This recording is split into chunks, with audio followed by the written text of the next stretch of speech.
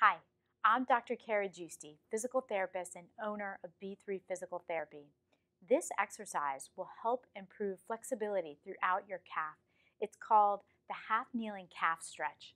We're going to start in the half kneeling position by bringing the right leg forward. I want you to take both hands and apply a lot of pressure downward on the top of the thigh.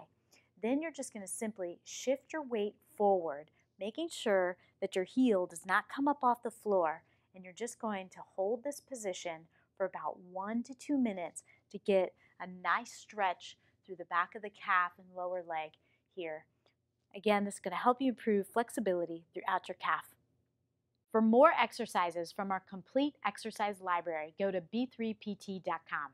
You can also watch my other exercise videos by signing up for free access to our club membership.